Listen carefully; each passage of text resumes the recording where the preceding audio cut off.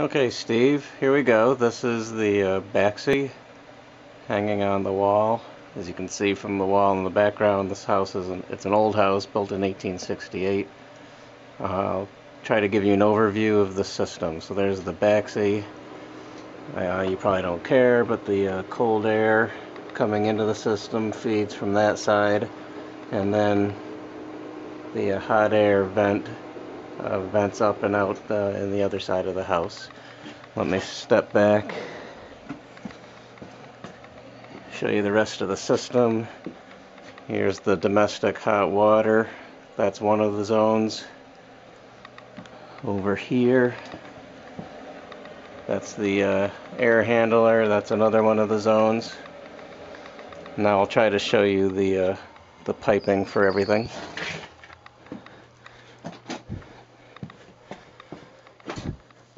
Okay, so here are the different zone valves, the White Rodgers valves. This high pipe over here is the supply side. This lower pipe here is the return side going back to the boiler.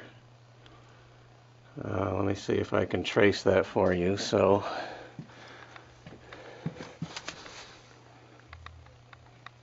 Here's the pipes coming up out of the boiler, going across like that.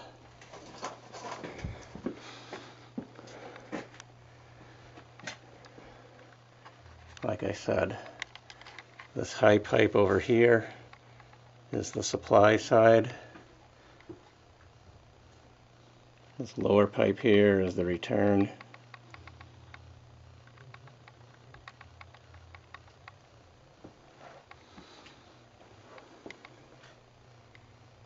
I know it's a mess. I'm hoping you can get what you need out of that.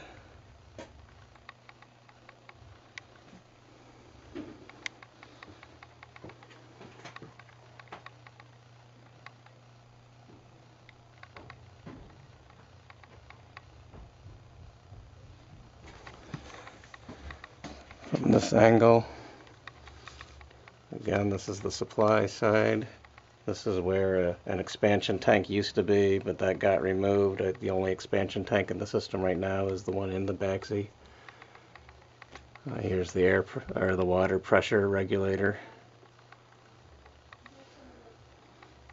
Again, the supply pipe, return pipe.